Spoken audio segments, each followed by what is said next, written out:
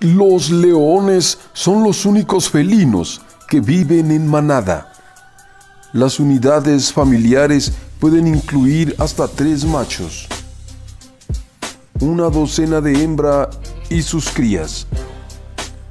Todas las leonas de una manada están emparentadas y usualmente las pequeñas hembras en su seno se quedan con el grupo a medida que envejecen.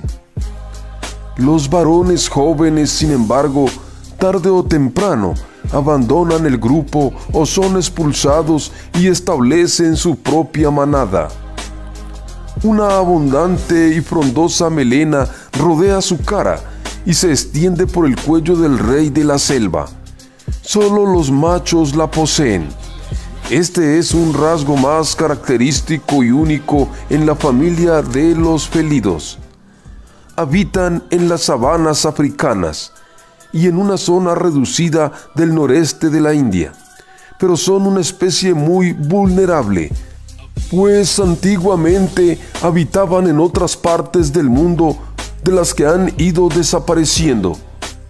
Las leonas son las encargadas de salir a cazar, mientras que los machos deben defender el territorio de la manada y a sus hembras suelen comer grandes mamíferos como ñus, cebras, búfalos o fasores, entre otros, y pueden llegar a vivir aproximadamente unos 15 años.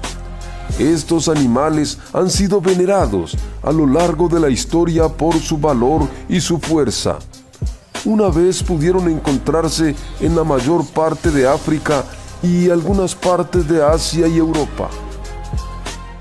Hoy en día solo se encuentran en ciertos lugares al sur del desierto del Sahara, a excepción de una población muy pequeña de leones asiáticos que sobreviven en el bosque Gir de la India.